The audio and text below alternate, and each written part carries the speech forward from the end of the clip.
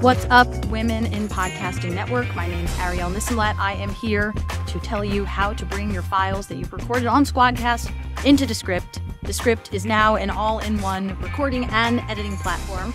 You can record in Squadcast with as many guests as you like, up to 10 people in a session. Then you can bring those files into Descript. You can edit video and audio. You can make audiograms. You can do so much. In this short video, I'm going to tell you how to bring those files into Descript so that you can do whatever you want with them. So we go to squadcast.fm. We log into our account. I'll pause here to say that if you don't yet have a Squadcast account, but you are already using Descript, you can now have a free Squadcast account. All you have to do is connect your accounts. I will share a link that explains exactly how to do that. Once you have created your Squadcast account, you have created your sessions, you've recorded some of those sessions, now you're ready to edit. Go to squadcast.fm, log in, and then select the session that you want to edit. For this demonstration, let's edit this conversation that I had with my colleague, Christiana. We can preview those files over here. That's me. Looks good. Hi, Christiana. How- Let's check out Christiana's file. Okay.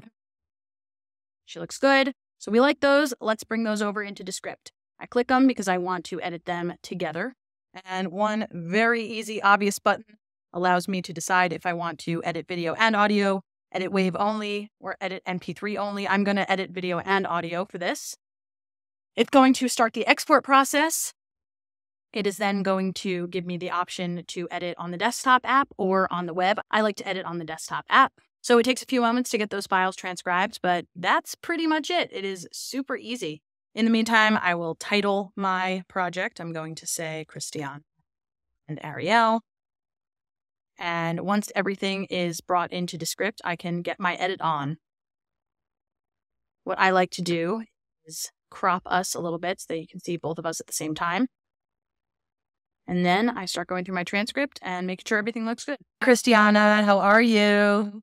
I'm awesome. How are you? Once I have made all of the edits that I want to make, sometimes I like to put on studio sound depending on our audio quality.